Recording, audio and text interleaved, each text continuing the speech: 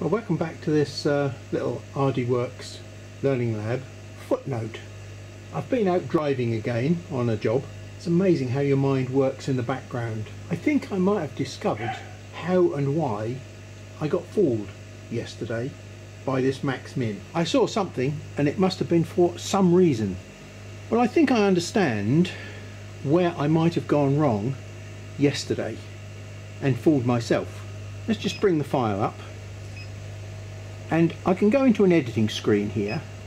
And I changed from 65 65 so that I got both of them the same. And of course I normally only ever use two numbers that are exactly the same. So when it came to change to uh, 65 10 for example what I will have done I will have said okay that's 65 now let's go down to 10 and put this one at 10 so I come down here and I reduce this one to 10 Oops.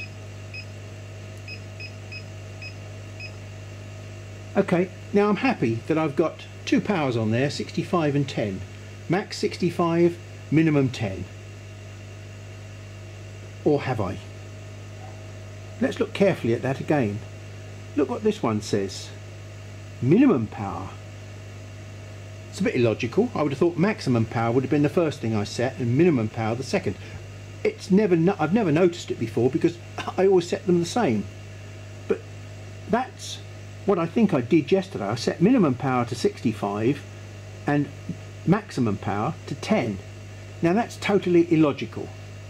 So let's just carry on and see what happens. I press enter and it says setup success. Without going anywhere else running the program, which I did yesterday, let's just see what the program would actually provide me with. Oh, that's a bit strange. Let's go and try it. I will just run the program.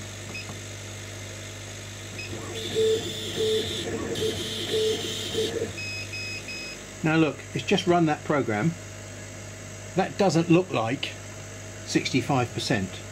It's purely just scratched the surface. So let's have a look to see what's happened to the program.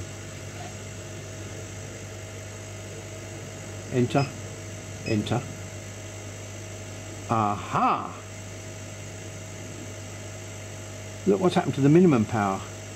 It's been set to the same as the maximum power. So when I ran the program, the machine has actually worked it out that what I've put in there is illogical. And so it's made minimum power 10% the same as maximum power 10%. And that's what's happened yesterday. I've put these digits in the wrong way round. And the machine has compensated for my idiocy. And fooled me. Saga finished. Thank you very much indeed and my apologies again.